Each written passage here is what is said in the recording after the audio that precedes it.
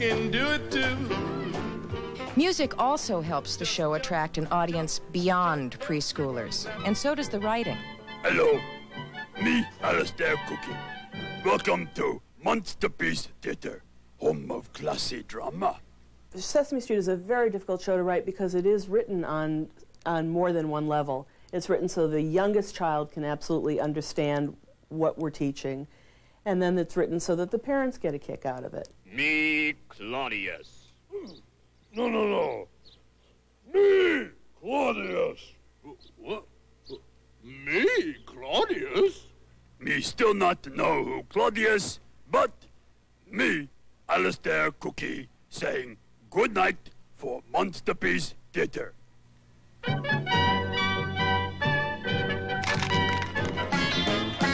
Guest stars from lots of fields often appear on Sesame Street. When I was on the show, it made me a hero in my house. Come on, put down that ducky. Put down the ducky. Put down the ducky. Duck, duck, ducky. Put down the ducky. You gotta leave the duck alone. But while guest stars hold the older audience, the preschooler always comes first. Kids can really tell when something is fake and when something is not sincere. So if there's anybody that we have to be real for, it's a kid. I think it's easier to fool an adult. If the parents are laughing and at the same time there's something else going on that the kids are enjoying, you know what I mean? That's fine. But if there's nothing for the kids in the bit, uh-uh. The kids are never forgotten. The Muppets were created so children would have characters to identify with. Characters who express kids' personality traits and feelings. Tomorrow? That's right. You mean there's gonna be a new baby on Sesame Street tomorrow? Yep. Gee, well, I can't wait till then. This is so exciting. Can't you get him now? The bird acts, and uh, we accept him as a child, even though he doesn't look anything like one. Some of his adventures, the children would like to be involved with themselves. Mwah! Oh, yuck. Oh, did you hear that? She said congratulations. Th- how could that happen to me? Oscar represents something different. A grouch that is grouchy but not mean. a lot of those kinds of thoughts that the kids feel are maybe socially unacceptable. And uh, so that the kid could actually uh, realize that he is feeling grouchy or unhappy or negative about things. And it, it was, again, just to, to be able to voice this stuff and see that it's okay. Rotten. Rotten! Yucky. Yucky! Terrible. Terrible! The Muppets, like Elmo here, are also helpful in demonstrating the three R's. Elmo can't read yet. Don't be too sure of that. What? Wait a minute. Now What just, you mean? Just tell me, tell me what you just wrote here, Elmo. Oh, that's easy, Bob. Elmo wrote Elmo's name. Watch. Elmo. See? See? You just read your name. Sesame Street and Jim Henson's Muppets also teach a fourth R, respect. You know, Bert, you're a real friend. I'm messy and, and you don't like it messy. But because I'm your friend, you don't mind too much if I'm messy.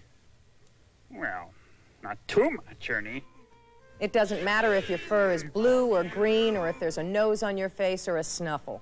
Because we don't have uh, characters that are particularly white or black, we have all kinds of colors and, and attitudes. Even if we never taught anything else on the show in 20 years, I think if we can really help kids understand that people are people and it doesn't matter what color or shape they are, uh, I think that would have been worth the exercise just by itself. Tu me gustas. That means I like you. I really like you. Me gustas tú. I like to see your face. I like to hear your voice. Something like 40 million children have, if you will, graduated from Sesame Street over the 20 years that it's been on the air. I watched it when I was in fourth grade, when it first came out, and I, and I still like it. I like the way they uh, they have the numbers and the shapes and the alphabet, and they constantly repeat it. And she likes, she enjoys the children. I have a four and a half year old daughter who watches the program, and that is how we first uh, got to have Sesame Street in the family, and now I can say that the entire family watches it. We are perhaps the single common experience that most Americans who are growing up today have uh, to bring to their world. So in some ways, we are the biggest little schoolhouse that there is, and that's only in this country. And Sesame Street reaches out even farther, in fact, to 84 countries. Most use the English version, but several produce original shows based on Sesame Street, which incorporate their own culture and values.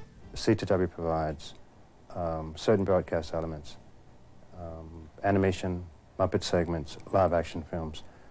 We do not provide studio segments because that would be um, culturally inappropriate. Some countries have their own versions of Big Bird. There's a green bird, a blue bird, a camel, a porcupine, and a bear.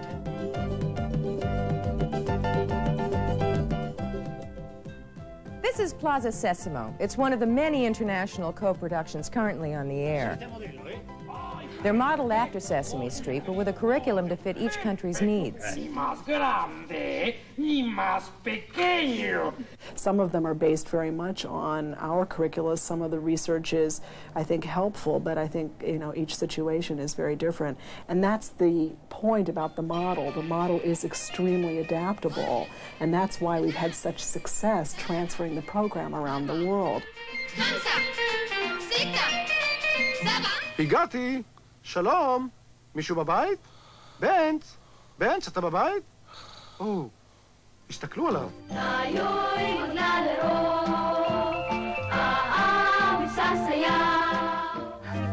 Über, unter und durch. Und jetzt.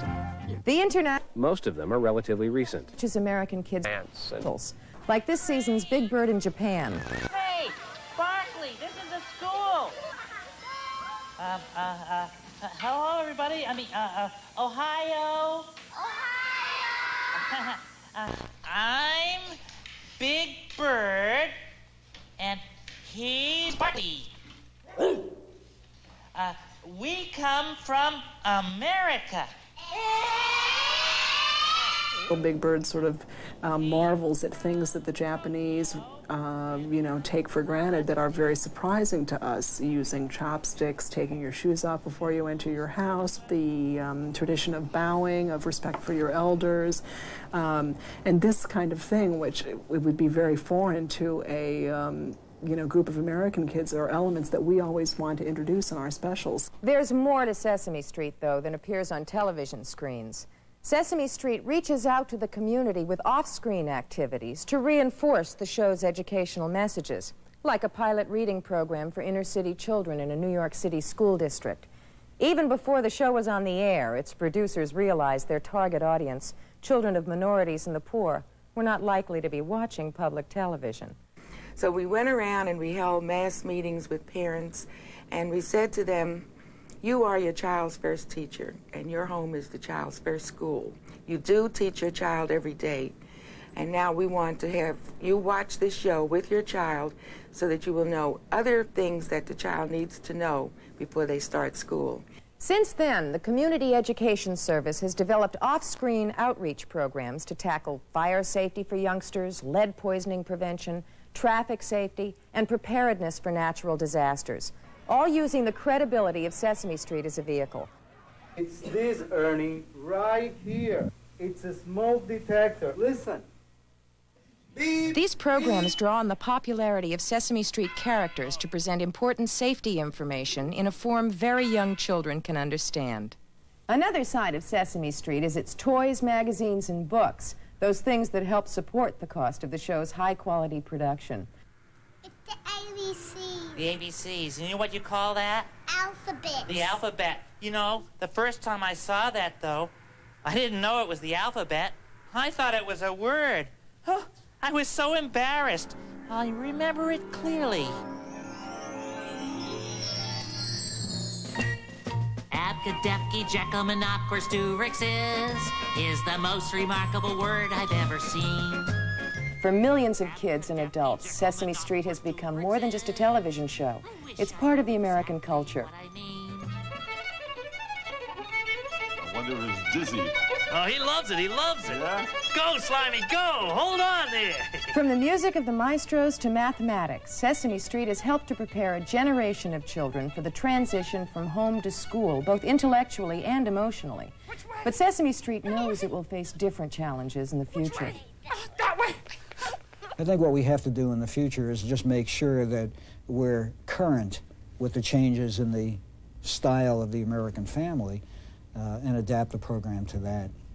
We are going to work very hard to get daycare providers aware of Sesame Street so that you build some floor of standards under, under the daycare day that these children have so that we will be assured, I hope, that every child learns something of cognitive and emotional value in the daycare situation and isn't just wandering around or playing because there's many hours there. So we will be uh, addressing daycare providers from here on out in, in the way that we once addressed parents. And so Sesame Street will meet the challenges of the next decade. It will continue to grow and change as its audience grows and changes. Sesame Street is a way for all of us to look at what is going on around us and a way to help the next generation make our world a little better. Nine, ten, Eleven, twelve, twelve, thirteen, thirteen, fourteen, fourteen. Birthday! Sing, sing a song. Sing a